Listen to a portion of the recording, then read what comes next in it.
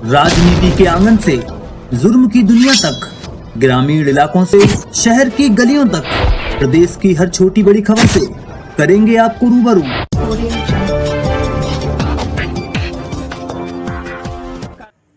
नमस्कार, आप देख रहे हैं वाई के सिटी न्यूज़। आज सुबह सीओ चनेरा घटनास्थल पर पहुंचकर घटनास्थल का जायजा लिया और थाना मलपड़ा थाना अध्यक्ष अनुराग शर्मा अपनी पुलिस फोर्स के साथ घटना की पूरी जानकारी करने के लिए घटनास्थल पर पहुँच गए। घटनास्थल पर पुलिस प्रशासन यह जानने की कोशिश कर रहा है कि आखिर गोली कैसे और क्यों चलाई गई।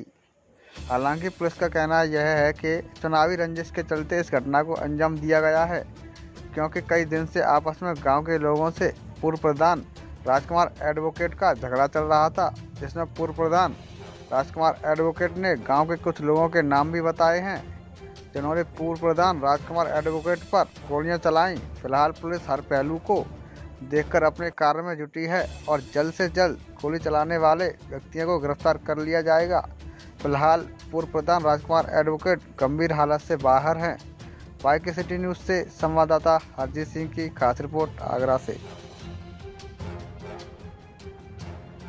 क्या नाम है जी मेरा नाम राजकुमार सिंह एडवोकेट है। क्या घटना घटित हुई आपके साथ?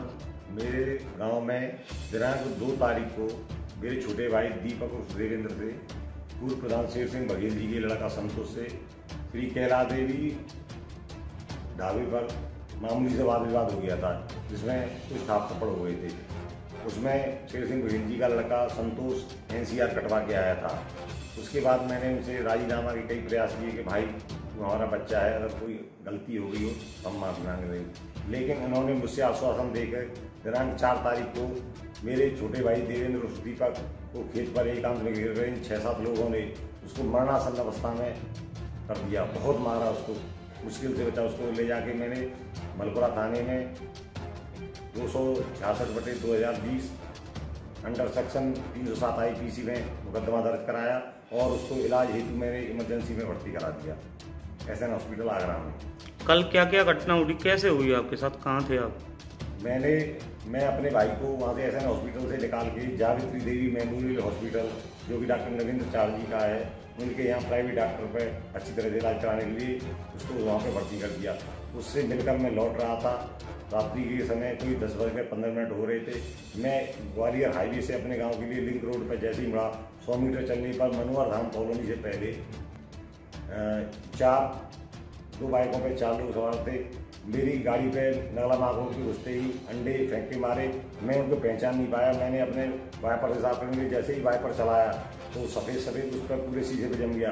तो जो चद्दर लगी थी मेरी गाड़ी में मैंने जो एस हॉस्पिटल से जो गंदी हो गई थी, वो रखी हुई थी उससे मैंने साफ़ करने के लिए जैसे ही मैंने गाड़ी को रोका, गाड़ी चालू हालत में थी लाइट जली हुई थी, अंदर की लाइट जली हुई थी, जब दो मोटरसाइकिल सवार आ गए। उन्होंने पूछा मनोहर धाम कॉलोनी की तरह मैंने हाथ से सहारा किया तो उन्होंने तुरंत तमंचा निकाल के मेरे सिर पर लगा दिया। मैं सिर पर तमंचा लगाते ही मैंने एकदम चलाया और एकदम हाथ ऊपर कर दिया। तो उन्होंने गोली चलाई जो हाथों को चीरती हुई और शीशा फोड़ के निकल गई। मैं चिल्ला कर एकदम भागा। उन्होंने पीछे से मुझ पर भी फायरिंग की। उसके बाद में भागता रहा, गिरता पड़ता भागता रहा चीखता चिल्लाता रहा तो वहाँ पे शोरगुल सुनकर लोग आ गए। उक्त लोग वहाँ से भाग गए।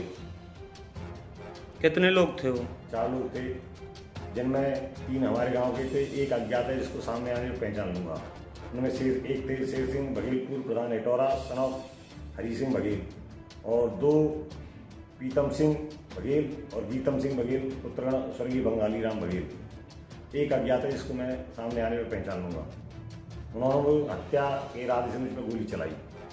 अब कोई तैयारी वगैरह लगाई है जी मैंने लगा दिया मेरा मुकदमा लिखकर तैयार हो गया है दर्ज हो गया है। उसका मुकदमा अपना संख्या है दो सौ अड़सठ बटे दो हज़ार बीस, जो अंडर सेक्शन तीन सौ सात आई में दर्ज किया गया है। जी हाँ हम मौजूद हैं थाना मलका क्षेत्र के ककुआ चौकी पर।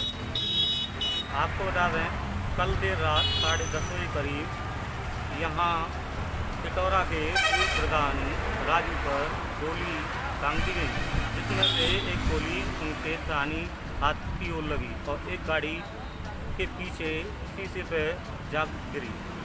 ये देख क्षेत्रीय लोगों ने शोर मचा दिया। उसके बाद तुरंत मौके से हमलावर फरार हो गए।